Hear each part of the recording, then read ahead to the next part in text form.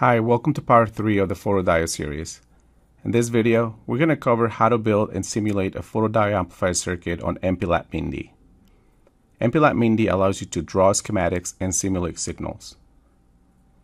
This is the circuit we're going to build and it is in the photoconductive implementation. Here's a summary of the circuit we designed on the last video. One thing to note is if you haven't watched the video on how to design a photodiode circuit, I highly recommend going back and watch it.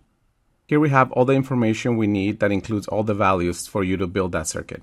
Let's begin with the transimpedance amplifier. For this design, we're going to use the MCP6491 op-amp because of its features such as low input bias current, low input offset voltage, rail-to-rail -rail input and output, and unity gain stable.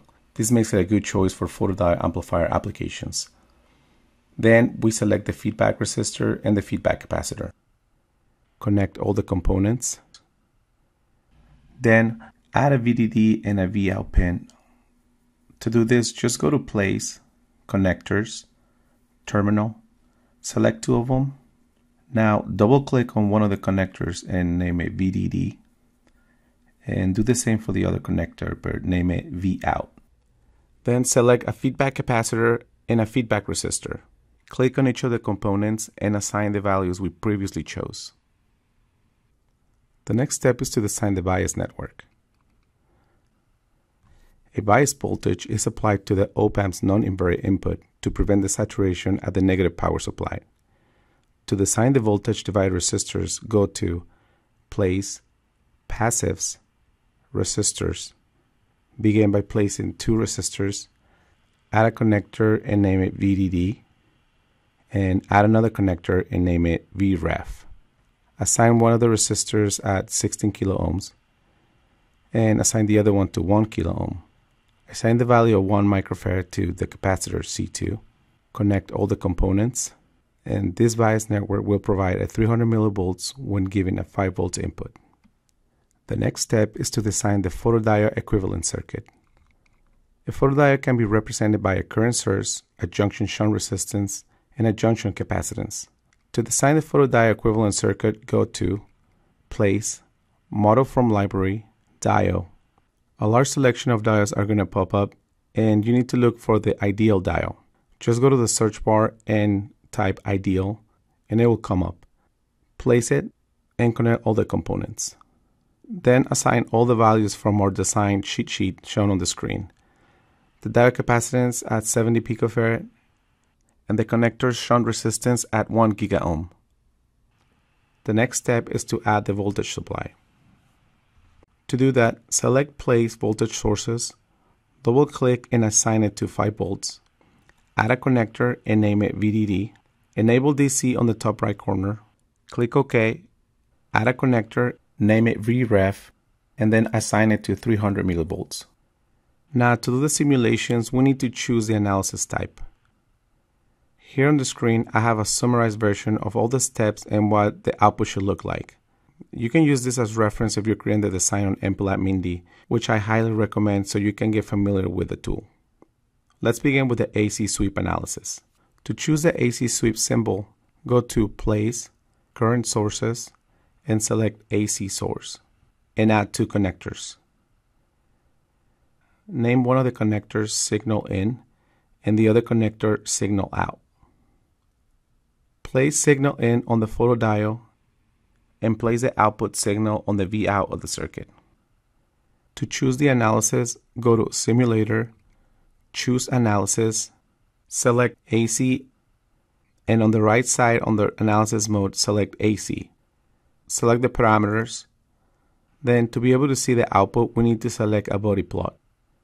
To do this, go to Probe AC Noise, select Bode Plot Probe, a window will pop up and select the measurements.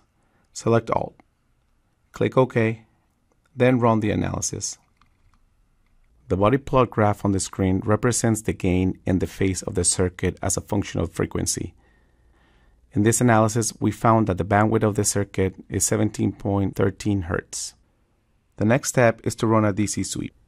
Here we have the steps, the parameters, and the expected output of the DC sweep analysis.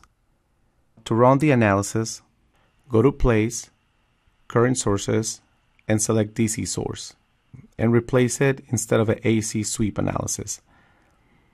Then choose the analysis by selecting Simulator, choose Analysis, select DC, assign the parameters, start value at 0, stop value at 50 microamps, number of points at 50, DC sweep, and name the device.